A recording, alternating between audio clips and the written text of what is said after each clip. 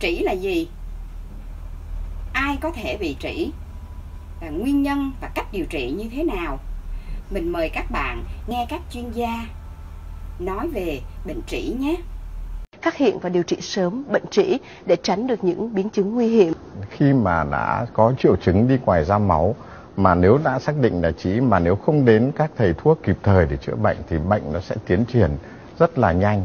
Từ độ 1 nó sẽ chuyển sang độ 2, độ 2 nếu không điều trị kịp thời mà vẫn tiếp tục thì nó sang độ 3, độ 3 chuyển sang độ 4. Độ 1 là các cái búi tĩnh mạch ở vùng hậu môn trực tràng nó hơi giãn ra và nó lồi vào lòng trực tràng và chủ yếu triệu chứng là đi ngoài nó rát và nó ra máu và rau máu thường nhỏ giọt. Còn độ 2 là các búi trí nó đã bị xa lồi vào trực tràng thậm chí xa nổi lớp đó ra ngoài ờ, ở, ở rìa mép hậu môn rồi. Sau khi đi ngoài xong thì nó lại tụt lên trên và cái đặc biệt của độ 2 là chảy máu nhiều. Và thậm chí có những trường hợp được mô tả là chảy máu thành tia như gà cắt tiết. Và cái độ 3 thì là nghĩa là xa các búi trí nội nó xa hẳn ra ngoài. À, ở mới thì là có phải nó, nó co lên. Nhưng nếu cuối độ 3 thì phải đẩy lên. Còn độ 4 thì tức là trí nó hoàn toàn ở ngoài rồi. Ở cái cấp độ nào và tùy theo từng cấp độ mà nó có cách chữa khác nhau. Thưa tiến sĩ bác sĩ Nguyễn Thị Quý ạ, những dấu hiệu nào để cho chúng ta biết để có thể nhận biết sớm về căn bệnh trĩ ạ?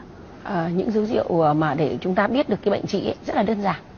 Tức là chúng ta đi cầu nó khó khăn hơn, đi là không hết phân, phải dặn và sau khi đi thì cái cảm giác nó khó chịu mà muốn ngồi lâu trong bồn cầu thứ hai nữa là gì nó đau nó rát hoặc đôi khi lại ngứa hậu môn thế và chúng ta cảm thấy là cái sinh hoạt của chúng ta nó không được thoải mái đấy là ngay những cái biểu hiện đầu tiên là đã có những dấu hiệu thế rồi Dạ thưa bác sĩ là cho em hỏi là giai đoạn đầu thì có sớm có dễ điều trị hay không ạ? Và nếu mà không điều trị ở giai đoạn đầu thì các giai đoạn sau thì nó có ảnh hưởng và gây nghiêm trọng gì không ạ? thực ra nếu mà phát hiện ngay giai đoạn đầu chúng ta được chữa trị một cách nghiêm túc luôn thì khỏi hoàn toàn và triệt để không tái phát và tránh được rất nhiều biến chứng thế biến chứng đầu tiên là nếu như chị mà để muộn nó đang từ cấp độ 1 nó chuyển sang cấp độ 2 thì có thể nó có những cái cơn mà mạch máu nó cương tụ lên. Mình đi cầu xong nó cứng nó đi qua nó chèn vào nó gây chảy máu thì nó chảy máu thằng tia và có thể những cái lúc đấy có thể đi cấp cứu bệnh viện có thể tụt huyết áp có thể trụy mạch. Cực kỳ nguy hiểm. Điều trị trí hiện nay là có rất nhiều vị thuốc, có nhiều phương pháp điều trị nó rất phong phú. Và thuốc y học cổ truyền chữa được nguyên nhân sinh ra bệnh trí. Ví dụ trị táo bón trong bài thuốc nó sẽ có những vị nhuận tràng để chống táo bón, đồng thời là ờ, có những vị để cầm máu cho chị. Đồng thời nếu khí huyết mà hư hao mà thiếu thì người ta cũng có những vị để bổ khí huyết. Chúng tôi ở bệnh viện vẫn cho kết hợp dùng thuốc đông y ờ, sau khi phẫu thuật xong, thậm chí dự phòng nó ngăn ngừa được tái phát, nó chữa được nguyên nhân, đồng thời nâng cao sức thể trạng. Thứ hai nữa là làm cho bệnh không tiến triển lên. Nhưng mà cái cái cái chữa cái đông y này này, cái đặc điểm là phải dùng lâu dài, ờ, kiên trì và nó khi đã khỏi thì nó khỏi rất lâu và nó không bị tái phát. Sau khi nghe các chuyên gia nói về bệnh trĩ thì các bạn thấy mình đang nằm ở trong giai đoạn nào? Nếu các bạn đang ở giai đoạn đầu mới bắt đầu thì mình khuyên bạn nên điều trị sớm và mình xin giới thiệu về bộ sản phẩm ngâm sông trĩ của công ty Thanh Mộc Hương. Bộ sản phẩm này hoàn toàn từ thảo dược. Và các bạn điều trị thì mình sẽ không bị biến chứng nặng hơn, phải đi phẫu thuật. Còn nếu các bạn đã qua giai đoạn nặng, cần phải phẫu thuật, thì cho dù có phẫu thuật thì như bác sĩ cũng đã nói, có phẫu thuật đi chăng nữa thì cũng phải kết hợp với sản phẩm đông y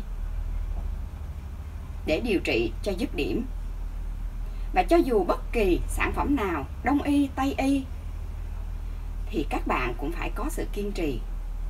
Không kiên trì thì không điều trị dứt điểm được đâu. Bệnh trĩ này rất là nguy hiểm. Và qua đây, mình sẽ xin giới thiệu với một, với các bạn về một cái loại cây mà xung quanh chúng ta có rất nhiều, đó là cây rau diếp cá. Các bạn xem video này và kết hợp sử dụng rau diếp cá để điều trị trĩ cùng với sông ngâm trĩ của công ty Thanh Mộc Hương các bạn nhé chúc các bạn điều trị trĩ thành công Rau diếp cá rửa sạch rồi ngâm vào dung dịch nước muối trong vòng 5 phút để cho ráo nước rồi mới ăn. Trong bữa ăn hàng ngày, hãy thay các loại rau khác bằng rau diếp cá để tạo một thói quen tốt, giúp ích cho việc điều trị bệnh trĩ. Bên cạnh cách ăn sống rau diếp cá, mỗi ngày có thể xoay nhuyễn rau diếp cá để uống sẽ đem lại những tác dụng rất có lợi cho việc chữa trị bệnh trĩ. Thứ hai là đắp rau diếp cá, giã nhỏ 50 gram diếp cá tươi, đồng thời bỏ muối vào pha loãng rồi rửa sạch vùng hậu môn.